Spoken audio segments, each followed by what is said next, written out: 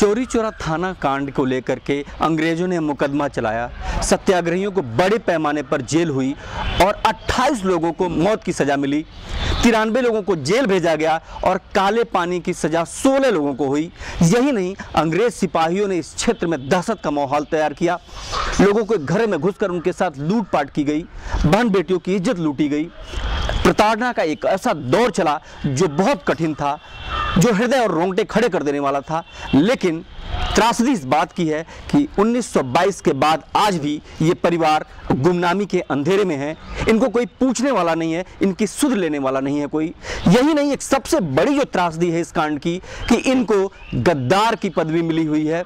और ये स्मारक बताता है कि जिन तिरानवे जिन तिरानवे लोगों को जेल हुई, जिन 28 लोगों को फांसी की सजा हुई, जिन 16 लोगों को काले पानी की सजा हुई।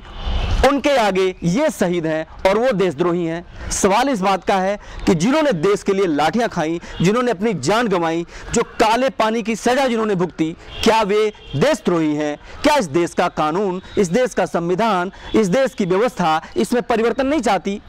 क्या यहाँ के लोग, यहाँ के लोगों को माथे पर गद्दारी का ऐसा धब्बा लगा रहेगा जो उन्हें चैन से नहीं रहने देता?